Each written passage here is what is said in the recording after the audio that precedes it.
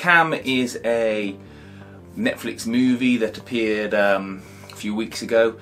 Uh, it is, well, on the face of it, it I thought it was going to be a sort of standard slasher type film. Uh, the premise is that a young girl who works on a cam site, you know, where she sort of strips off and does things for money on the camera, uh, has her identity stolen, and sinister things occur thereafter. Uh, it wasn't the kind of film I thought it was going to be.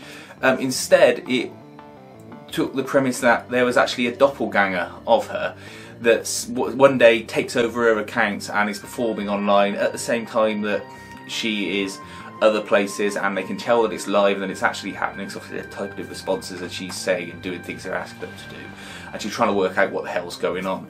Um, it's well acted by the main actress whose name I'll throw up at the bottom. Um, it's well directed and well shot. Um, it felt different it felt engaging it wasn't too long. Um, the main issue with it though is at the ending you don't really get any answers. And there's setups for things that you know I thought were going to at least pay off or be addressed later in the film. Um, for instance, she's at a party and she meets a friend who is played by an actress who you would be familiar with from the Flash TV show. Um, and you think, okay, fine, you know, and she looks at her phone and she goes, oh, can I take a picture of you on it? So she takes a picture and then she goes, can I just have your phone? I need to touch up my picture and you think, oh, she's doing something to her accounts. That goes nowhere. There's no further mention of this character, and you wonder if she's on the cutting room floor somewhere.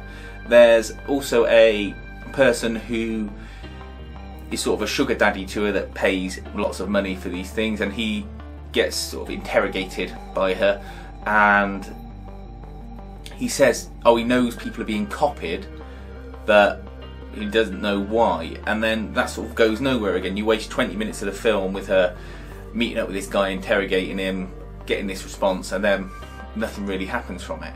Uh, and at the end, she just ends up in some sort of video standoff with her doppelganger, um, and breaking her nose, which somehow and which results in her winning a bet with her that Met gets her to delete her account. Um, and then it's back to normal, which I'm sure I know I have read an explanation online saying that it's because she sold out and she's regaining her individuality, etc. But do I should I have to go online and look up an explanation for an hour and a half sort of sci-fi horror film on Netflix? Um, it's should that I had no other other clue as to how the matter was being resolved. Uh, I don't think so. This is the kind of film you should be able to watch and enjoy and go at least have some semblance of what happened at the end. Um, there are ways they could have taken this film that would have been much better or much more creative and interesting, and still had the same level of impact or still got across the same message. Um, so yeah, Cam. Um, a good, well-made film up to the last 10 minutes um, and worth watching if you like something a bit different that's in the same genre of sort of I don't know how to describe it, sort of thriller, psychological type films.